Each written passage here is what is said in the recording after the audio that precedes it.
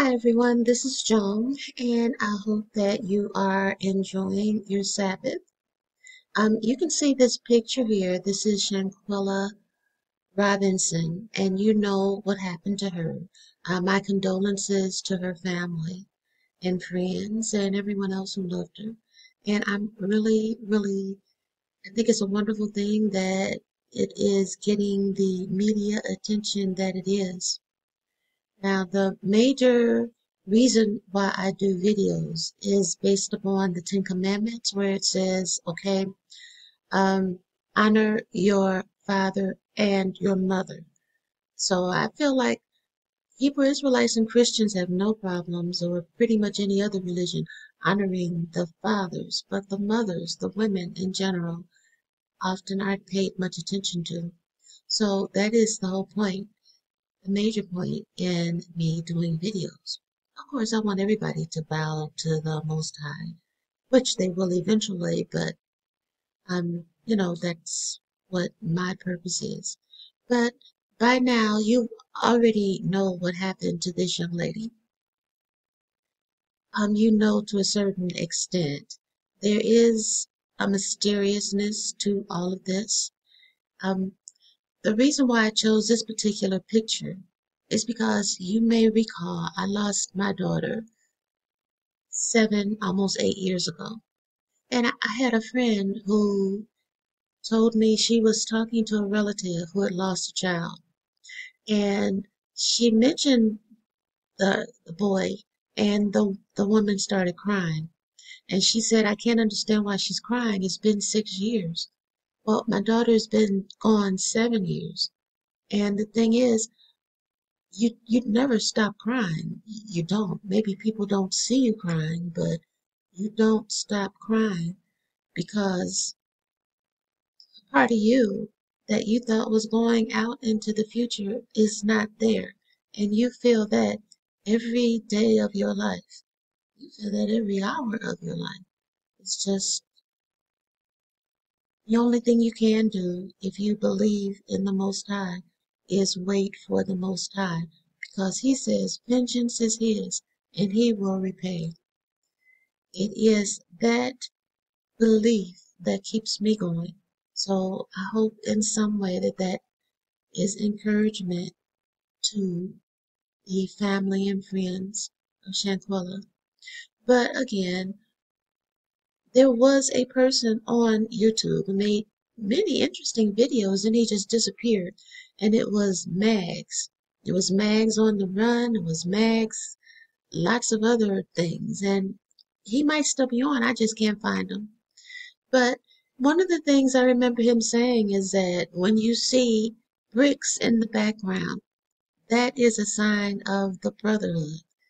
And he did not say anything about these cement blocks, but I remember my daughter posed on a picture. I was nowhere around. I, I didn't even find the picture till after she passed. And she was standing in front of a brick wall. Not sorry, not a brick wall, a concrete wall like this.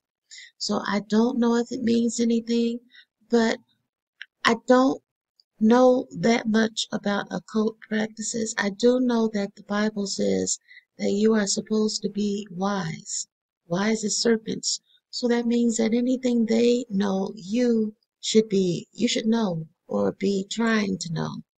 Because things are happening that don't make any sense.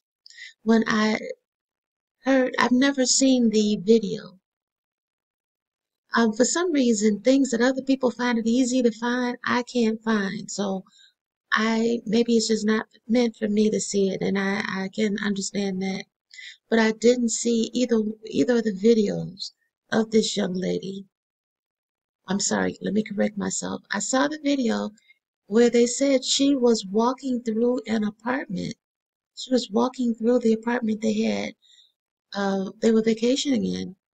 And I'm not sure because I can't even find that video again. But it sounded like she said to somebody, um, does it take you that long to get naked? Now, I know I'm old school and I, I'm, I don't quite know who she was talking to or if, if that was an expression or what was going on. Um, I also think, well, people are saying that they got her out of the shower, and that's why she was, they were beating her up while she was naked. And okay, I can understand that, but from what I could see of the original video they did with the girl who was named Daquan, Da- Daquane or something like that, uh, she was wearing lingerie, I think. I'm not sure, and I'm kind of wondering why is she wearing lingerie?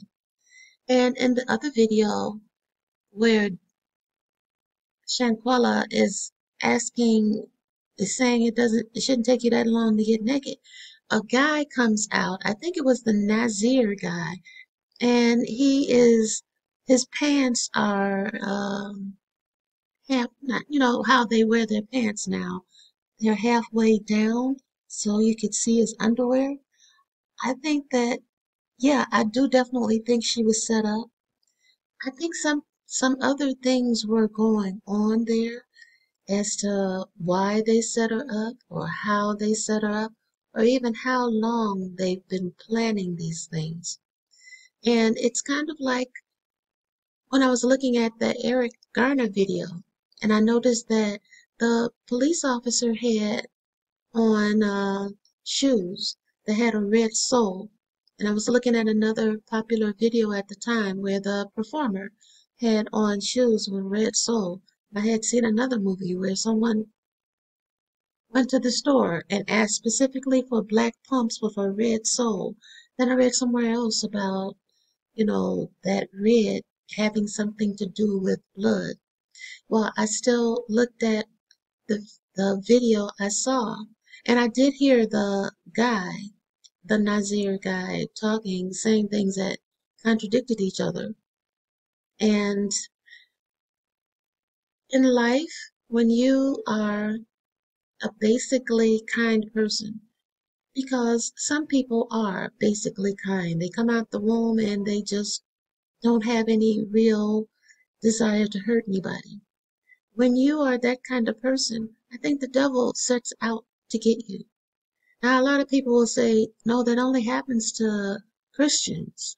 Or, you know, well, basically, I've heard Christians say that, but I think that even people who may not have discovered any kind of a religious affiliation sometimes are born with a certain amount of kindness. And I think that maybe the devil has a real problem with that and attacks these people. So I think that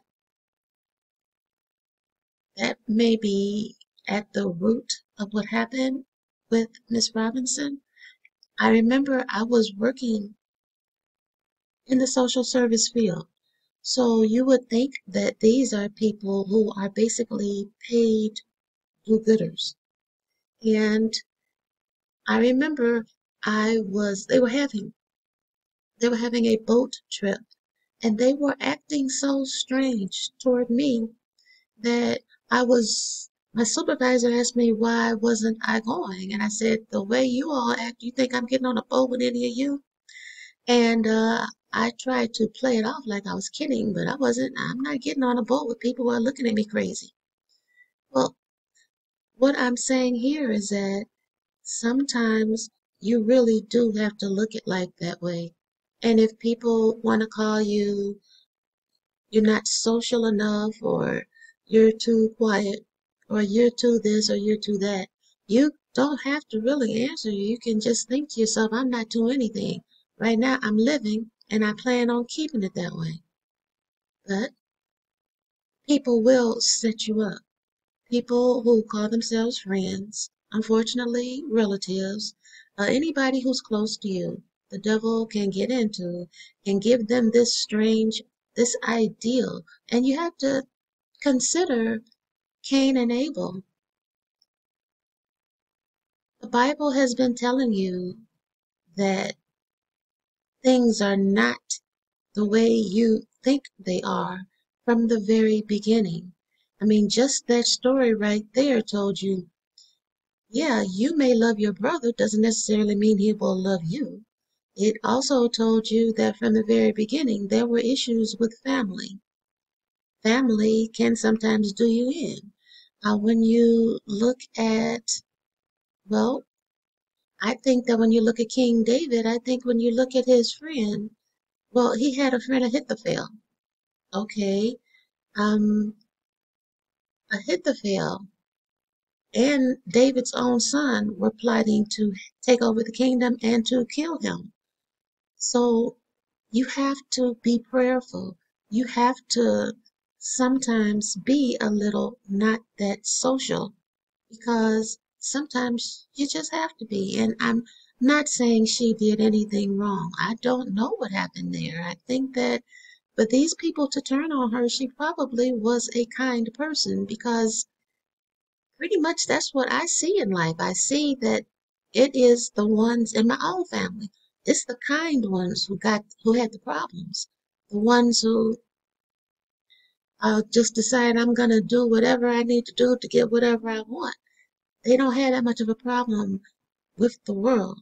It's the ones who are like, well, I don't really want to hurt anybody. I'm just trying to do my own thing, and if I can help you, I will. That's the ones who have to be especially prayerful because sometimes that kindness puts a target on your back, and the only person who can truly defend you from that is the Most High. So, this is just something to consider. And again, my condolences to all her friends, family, and everybody who loved her, and to all of you who have lost someone. It never really, you don't ever get over that. You can't. It's it's just that strong of a bond. But the Heavenly Father promises that He will, vengeance is His and He will repay. He also promises a paradise and eternal life without strife. So just keep going. But while you're going, be extremely careful. The Bible actually does tell you, trust no man, not even your brother. And like uh, the point I was trying to make in the last video is that every time it says man, it doesn't mean only man. Every time it says woman, it doesn't mean only woman. I think it's telling you everybody, watch your back. Be prayerful and watch your back. And you guys take care.